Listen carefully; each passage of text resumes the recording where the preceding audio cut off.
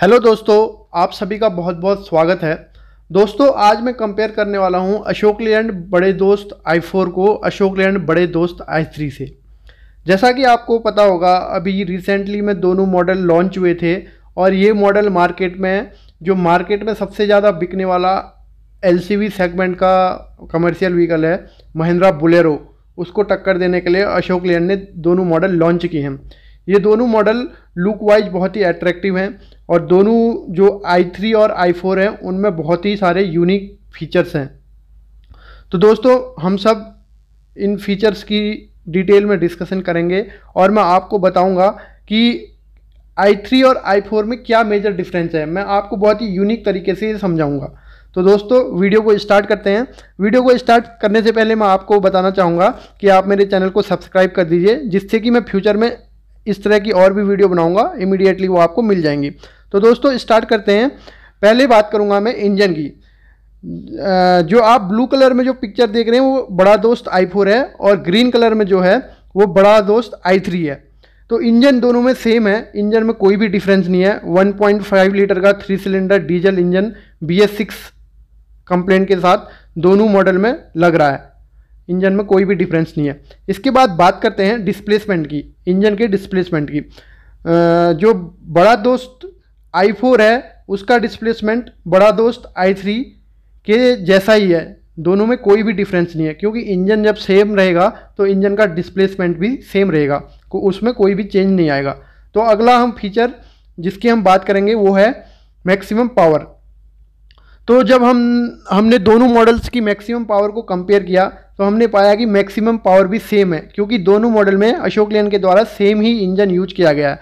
जहाँ आपको i4 में 80 हॉर्स पावर तैतीस सौ में मिलता है, वहीं i3 में भी आपको 80 हॉर्स पावर तैतीस सौ में मिलता है। ये मेरे हिसाब से बहुत ही ज़्यादा अशोक लेन ने हॉर्स पावर दे रखा है, जो इस सेगमेंट के लिए बहुत ही अच्छा है।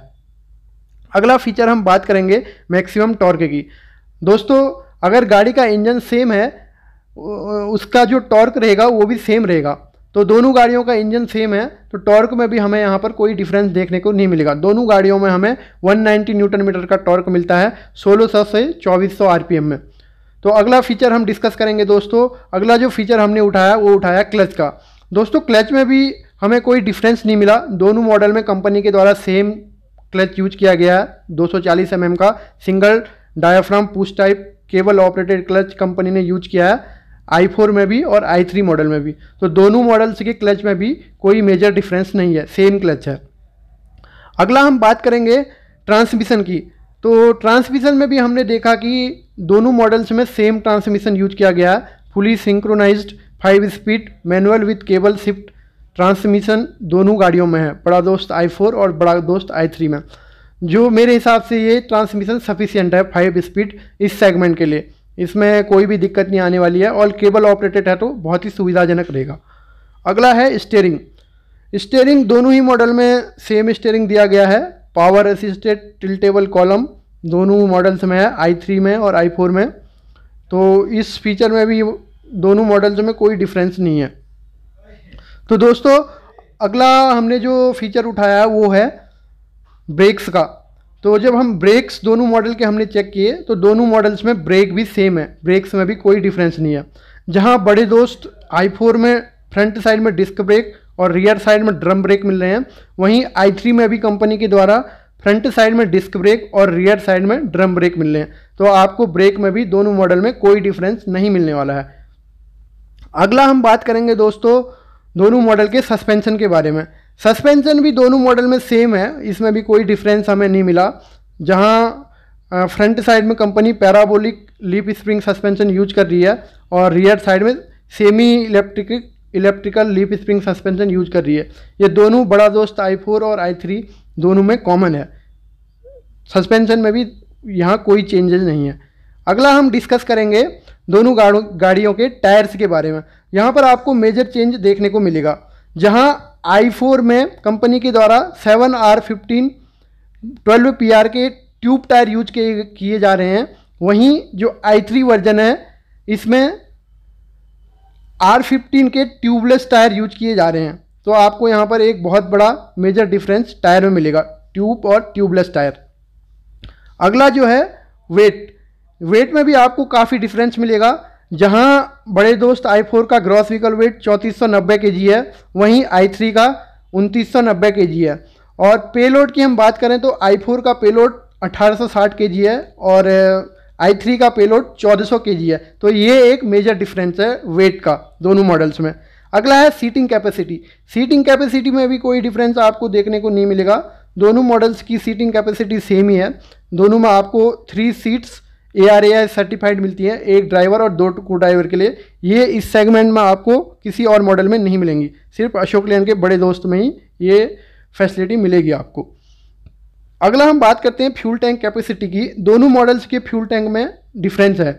जहाँ आई फोर में कंपनी 50 लीटर का फ्यूल टैंक यूज़ कर रही है, वहीं आई थ्री में कंपनी 40 लीटर का फ्यूल टैंक यूज़ कर रही है। तो ये एक मेजर डिफरेंस है दोनों मॉडल्स में आई थ्री और आई फोर में। फ्यूल टैंक का डिफरेंस 10 लीटर का अंतर है।